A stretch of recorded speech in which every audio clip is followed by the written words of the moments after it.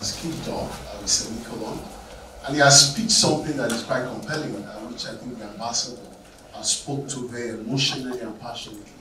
How do we bring it all together? Um, by my experience, uh, I work uh, with MTN as Chief Transformation Officer. Uh, I'm also an academic researcher, I'm a PhD.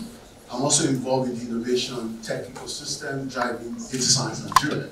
So I live in the three lives of technology, innovation, and education. And continuously I begin to see how they are so disparate and it's so difficult to bring it all together.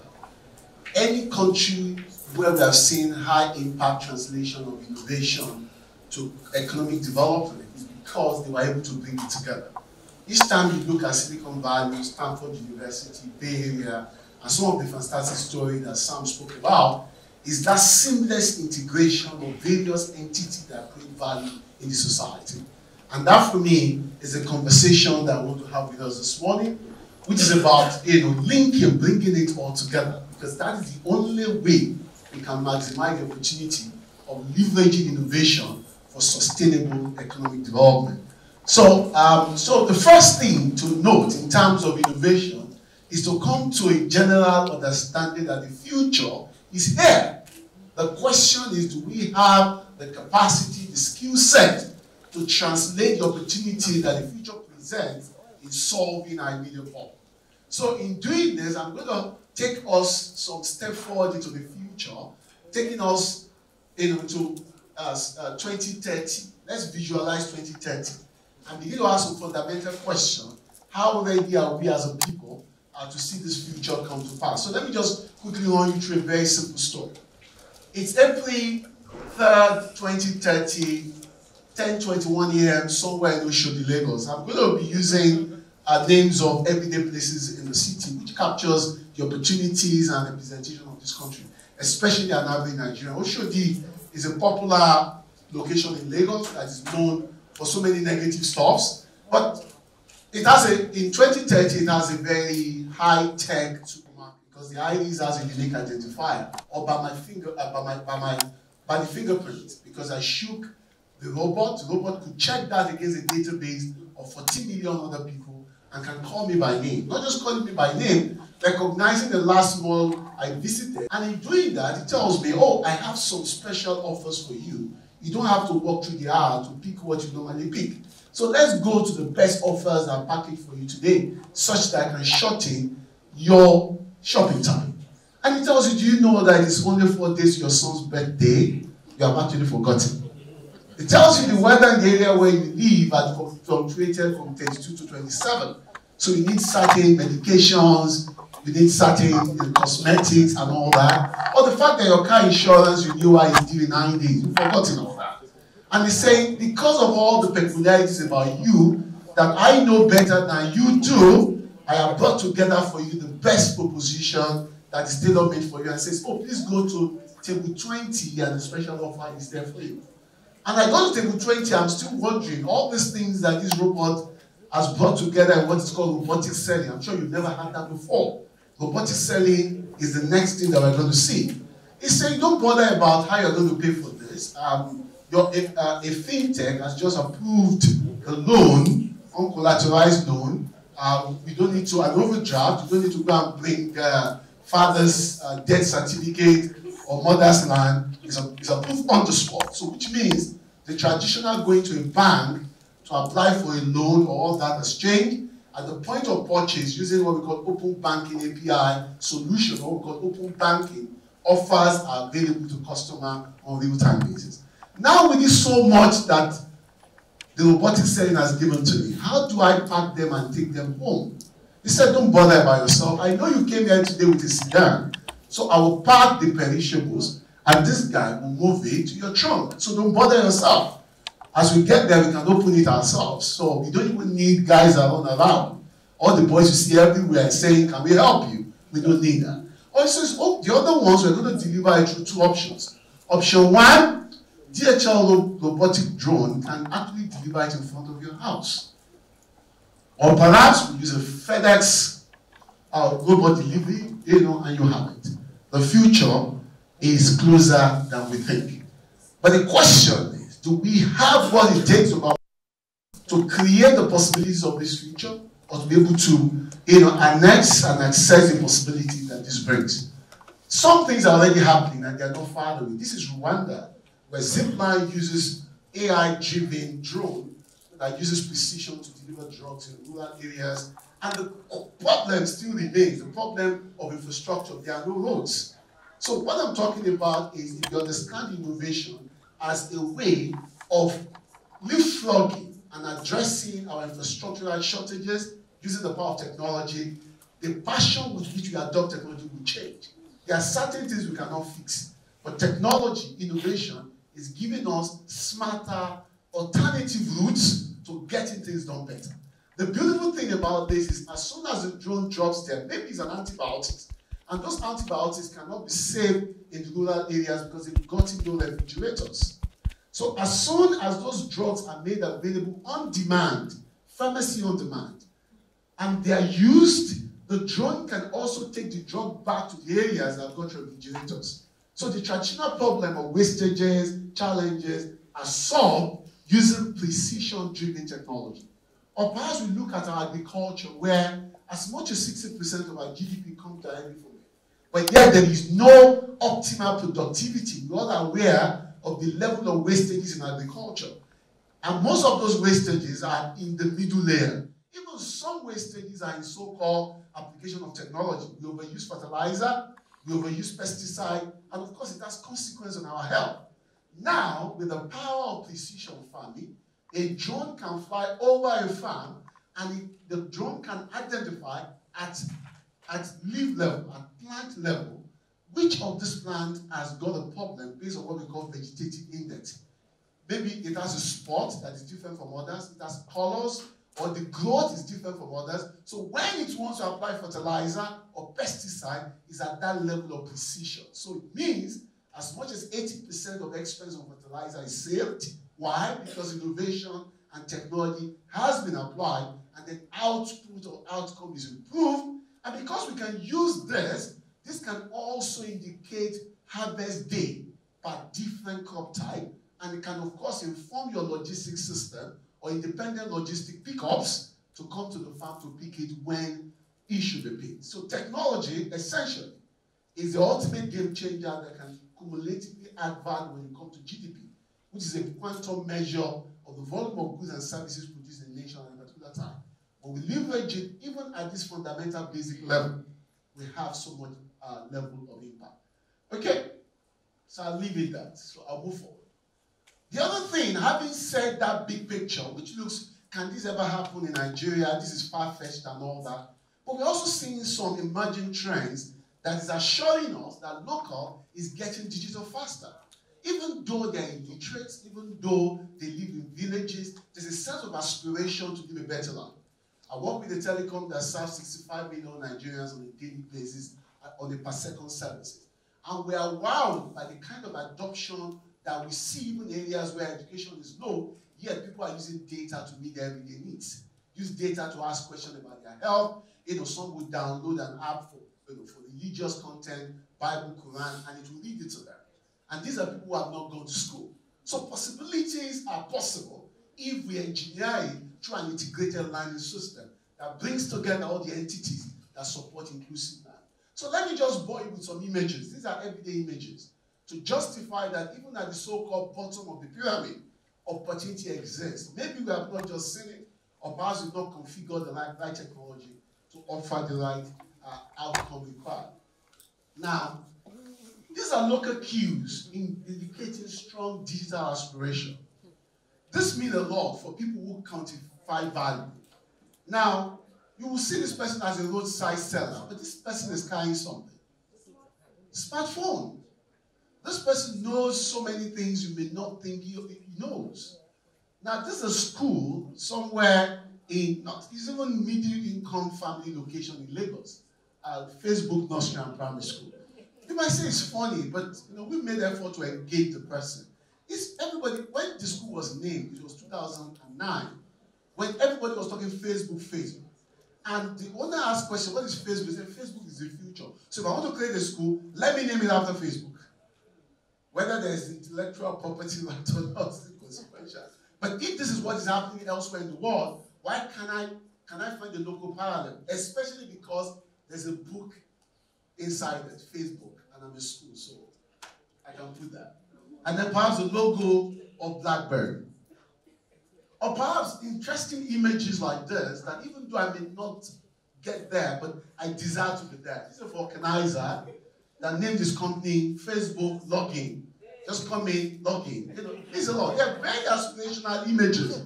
They capture a strong desire that I understand the possibility of digital, even though it's not yet been appropriated or customized for my reality. I can identify with its possibility. I can align or perhaps aspire that when a version or miniaturized version of it is available, I can access it when it comes. Because I see that everywhere I go, there's a satellite dish. And because I don't have one yet, I can create my version until the right one comes. So we will give him or her a miniaturized version that will solve the problem. Or perhaps these more practical, inspiring images where things that we think are exclusive to certain kinds of people are being seen in locations that are out of this world. You ask yourself, how? And that's the power of it. And that's what we need to think. You can only align with the kind of vision that Sam has with semicolon if you can begin to see beyond the obvious. And that's what I want to achieve this morning. There's so much out there beyond what we all see in our suit, you know, in our Lekki Victoria Island access. There's so much opportunities and possibilities. We just need to create the right combined learning platform that brings it all together before we start unleashing limitless possibilities that are bound around us. The third point, okay, this is another interesting one. I'm sure you are familiar with people like this every day in Lagos. Can you see something there you read? Somebody even said some of the sellers on the street, you know, a lot of things are possible.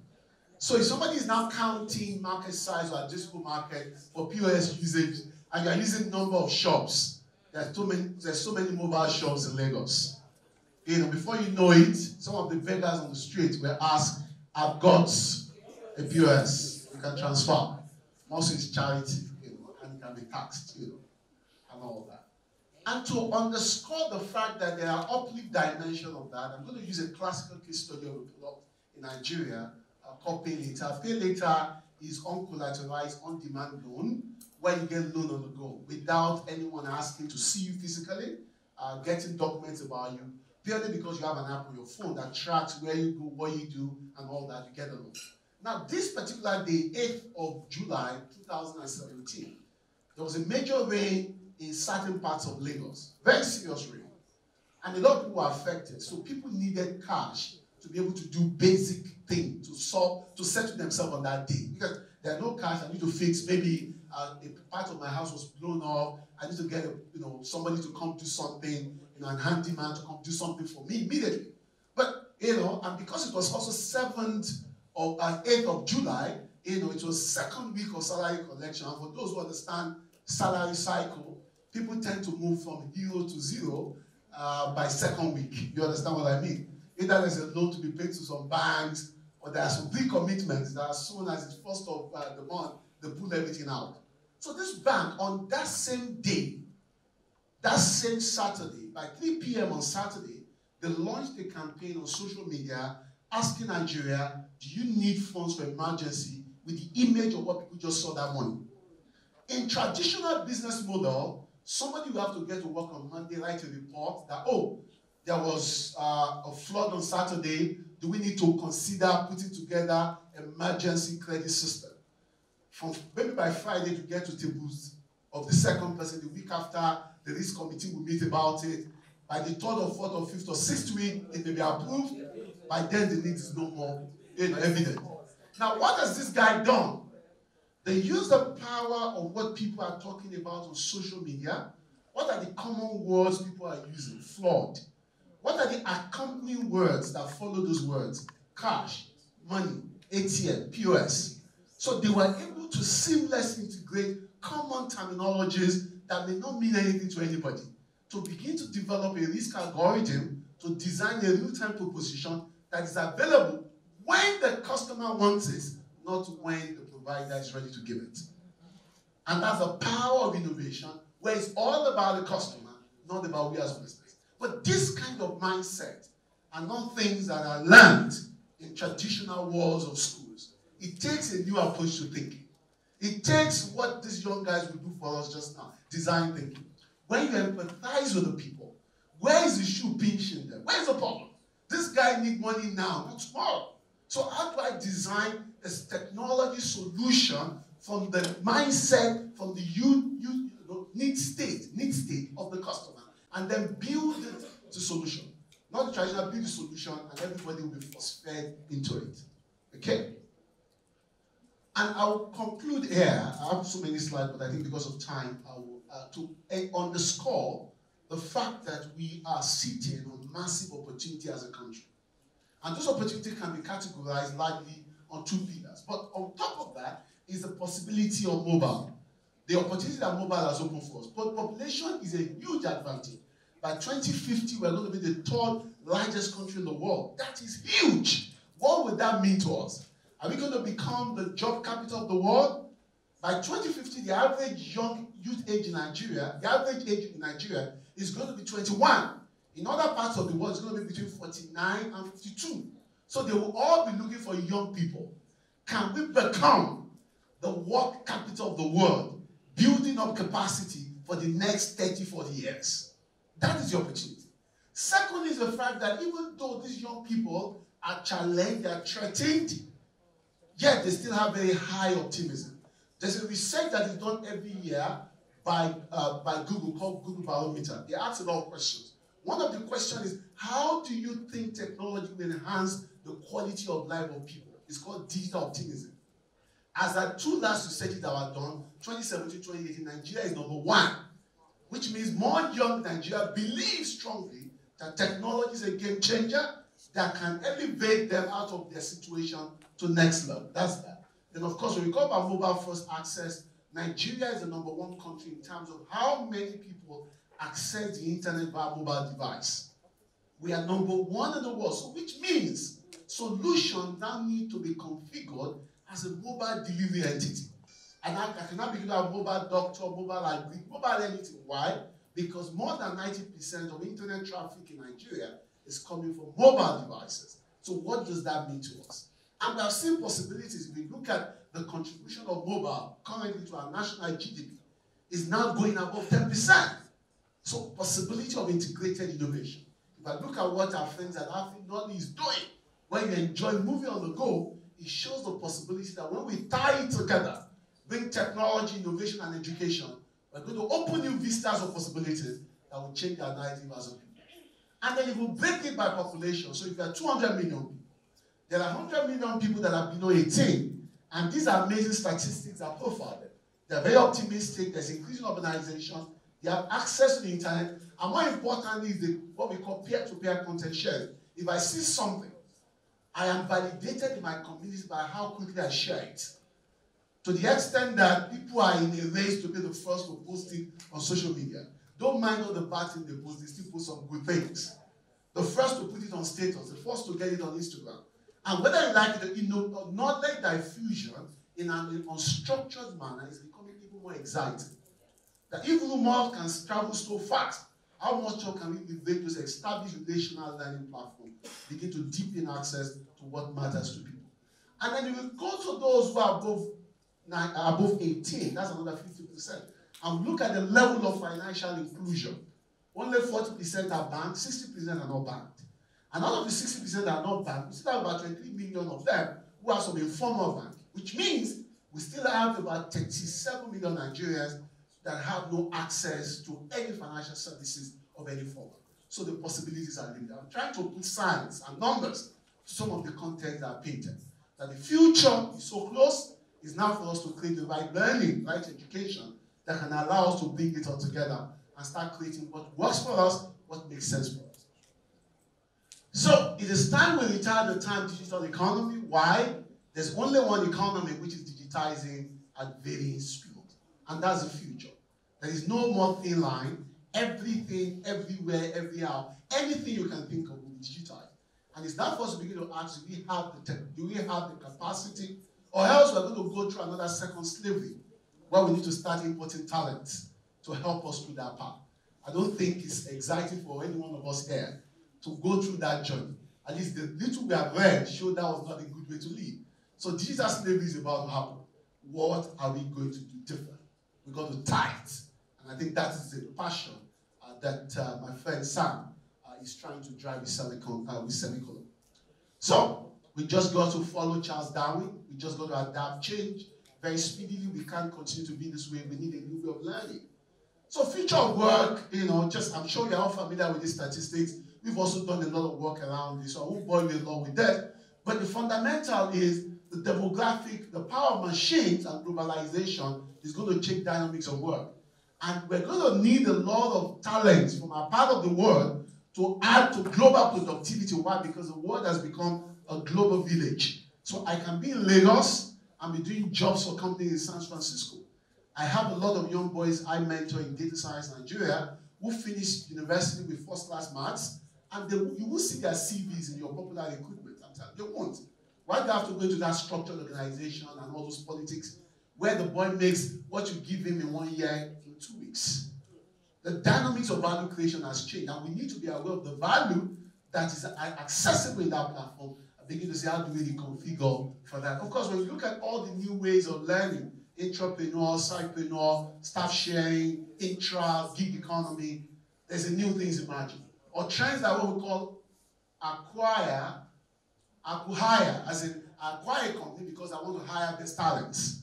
And those are things that will happen in the future where I need certain developers, I can't get them, I have to go and buy a company. So these are emerging opportunities. Or the fact that there's now mobilization of human resources where you can get talent on demand talent on the go, specialized skill set, situation-driven use cases, and all that. The possibility of shared economy, which is now the fastest growing business entity in the world, with the success of Airbnb and Uber, is a validation that capacity can be outsourced on a dynamic basis. So onshoring, offshoring can open new vistas of opportunity, if only we tie it together. And I always like this very funny joke that if you're able to do it so well, able to raise a new breed of capacity. We're going to get guys who go for an HR interview. And when they talk in interview, what we are looking for is somebody about 25 years old but has got 40 years experience. Why? The guy has worked on multiple projects at multiple times without leaving the walls of his room. So he has lived 40 years, yet it's just five years. That is the future reality. People will travel in times Knowledge will cause people to project beyond where they are.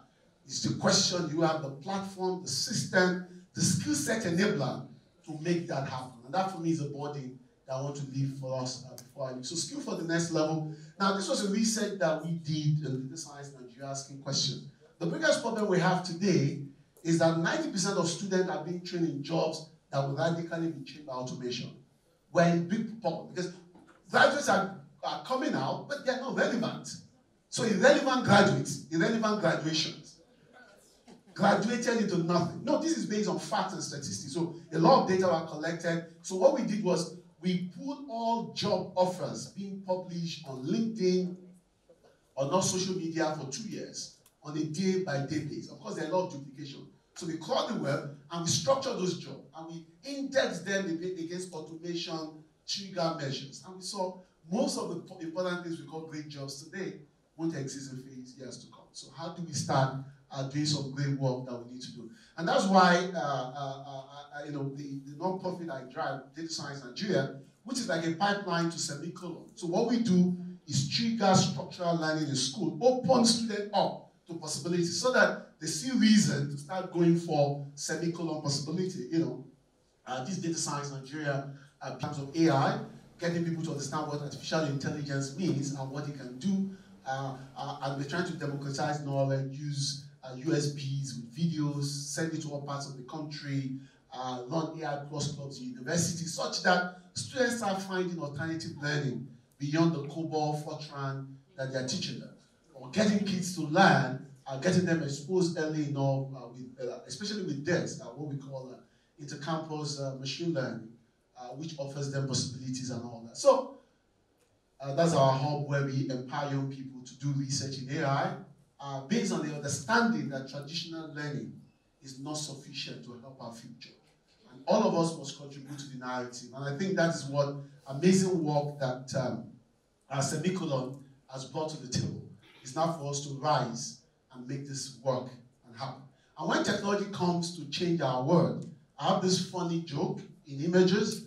Uh, it's an interesting, funny joke. I think it says a lot. And when digital gets embedded into our life decisions and choices, it helps us in areas where we can help ourselves.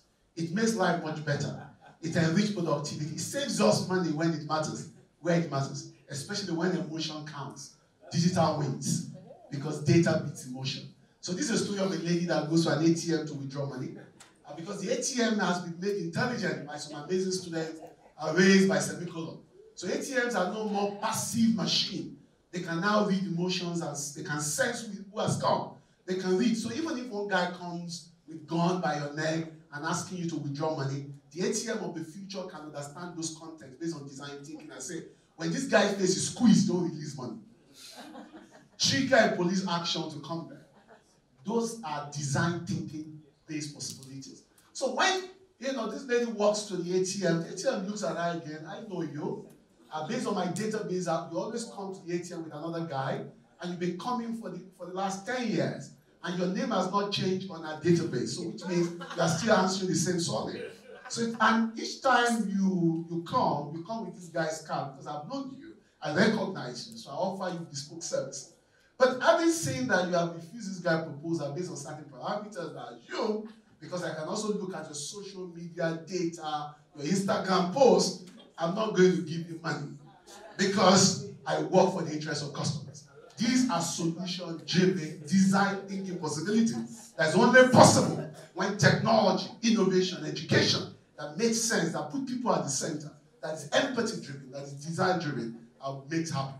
So thanks to Sam for the great vision.